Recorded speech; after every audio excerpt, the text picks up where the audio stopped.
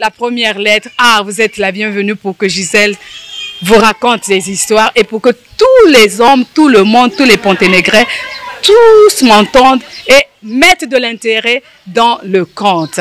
Ah, c'est bien. Et le B, c'est très bien. La venue de ceci J'attendais l'occasion. Et le C, c'est formidable. Hein. Expression de l'oralité, le conte avait une importance majeure dans les traditions africaines. Le conte, qui valorise l'art de la parole, mettait en évidence des enseignements de la vie communautaire au moyen des récits dans lesquels on personnifiait les animaux. Quelques conteurs congolais rencontrés à l'espace Yarrow de Pointe-Noire nous donnent leur vision du conte. Tous les grands auteurs, que ce soit des contemporains ou les, les tradis contemporains, leur base est sur le conte.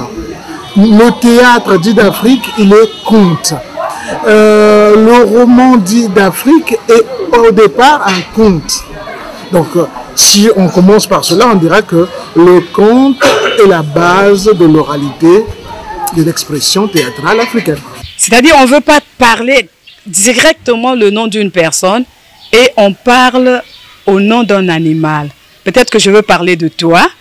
Au lieu que je parle de ton nom, je peux dire le chien, je peux dire le chat, je peux dire la poule, je peux dire le coq. Mais toi, si tu es initié et que tu es vraiment dans l'école africaine, l'école du conte, tu comprendras qu'il s'agit de ceci. Le conte, c'est l'instrument de véhicule de message de la tradition africaine. Aujourd'hui, les paroles s'envolent, les écrits restent, c'est vrai, mais la tradition orale a été très importante aussi, dans le sens où il y avait la facilité donc de véhiculer les messages à travers euh, les chants, à travers euh, les, œuvres oratoires. Euh, je pense bien que nous avions eu beaucoup à gagner à travers l'art oral.